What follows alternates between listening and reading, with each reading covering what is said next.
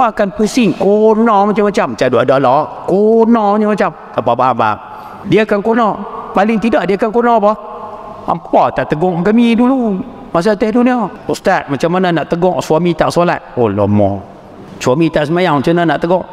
Kalau macam ni ni cara macam ni ni tak larat tegur ha, ni. Kan? Cara macam ni tak larat tegur ha. Tegur tak makan Ustaz. Marah tak makan. Beletiak tak makan Boleh tak? Dia macam ni lah. Tugas kita kata. Tugas kita nasihat. Tugas kita tegur. Itu tugas kita. Saja share sebagai penutup nah.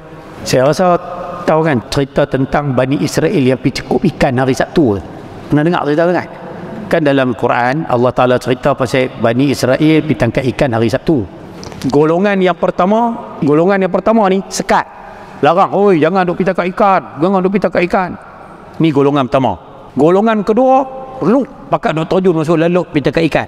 Golongan nombor tiga ni patutnya sokonglah hak duk sekat ni. Patutnya sokonglah golongan hak bagus-bagus duk sekat ni. Dak golongan nombor tiga ni. Apa saudara cakap banyak ambil pergi ke depa depa ni mangkai malah ambil pergi ke depa.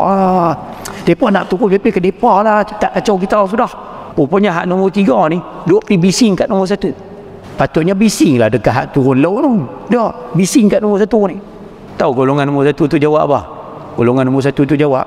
Dia kata kami duk sekat tu bukan sebab kami kami pun tahu mereka ni keras kepala kami pun tahu mereka ni tak dengar kata. Sama macam isu ni kan tak dengar kata. Kami pun tahu. Tapi kami duk sekat ni muka tujuan ni apa? Supaya nanti di hari akhirat nanti golongan hak terjun leluh tu tak marah kat kami nanti ke akhirat nanti golongan hak terjun lok tu nanti mereka akan pusing kona macam-macam. Macam ada lah kona macam-macam. Apa apa apa? Dia akan kona. Paling tidak dia akan kona apa? Hampa tak tegur kami dulu masa atas dunia. Hampa tak sekat kami masuk lelok tu tu. Hampa tak tegur kami hampa tegur kami ikut dah. Nampak? Masa tu pakat kona. Jadi geng-geng hak kumpulan nombor satu kata apa? Kami dah tegur dah. Hampa yang tak dengar. Boleh faham tu sama macam isu hak penanya soalan ni. Kalau kita dah tegur Zaid tegur ada Zaid dia tak mau dengar juga biar pergi nanti masuk waktu asap tegur lagi tak mau dengar juga biar pergi paling tidak apa? Nanti kita mati ataupun dia mati atakat yang ketegak tu mati paling tidak dia tak boleh marah kita dah. Nanti dia akan marah kita tau. Dia akan kata ha, jadi isteri tak tegur langsung kalau hang tegur abang berubah eh, nampak? Dia mula kena tu. Masa tu sedap kita jawab. Apa pula abang? Setiap waktu saya tegur abang semayang berapa puluh tahun kita kahwin saya tegur abang abang tak mau dengar. Masa tu kita selamat lah habis itu kalau suami tak semayang Ustaz saya berdosa dah. Dah kita dah suruh dia semayang dia tak mau dengar kita dah lepas tu ya yang faham apa bahasa yang tu je buah dalam kepala tu. Pasal nanti dia akan buat alasan. Memang dia akan buat alasan. Nak kena buat alasan alasannya macam kan semua ada kelepiak nak pelepas diri kan bagi jawapan tu bagi jawapan ni bagi jawapan ni. Semua bohong. Contoh yang mana faham tenang. Jadi kita nak selamatkan diri kita tegur. Nanti jiran tegur kita juga jiran cari alasan juga. Semua orang akan cari alasan. Ni Hamil Meji ni sila silap bagi alasan kan saya pula.